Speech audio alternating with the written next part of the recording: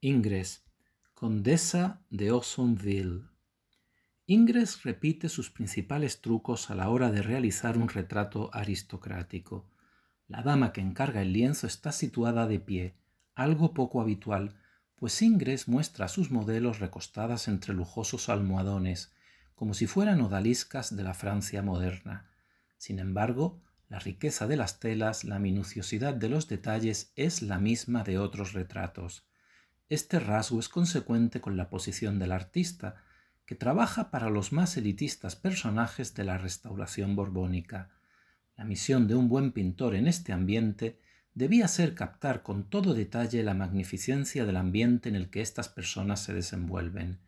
Sin embargo, Ingres pone gran énfasis en la sencillez de la personalidad de sus damas, con peinados simples, sin maquillaje y con grandes ojos que miran directamente al espectador. Ingres obligaba a sus clientes a posar durante horas, a cambiar miles de veces de postura hasta que el artista consideraba que tenía la pose ideal. Esta pequeña tortura dota a sus retratos de una extraordinaria elegancia, a la vez de que parece plantear una relación amistosa y directa del personaje con su, con su espectador.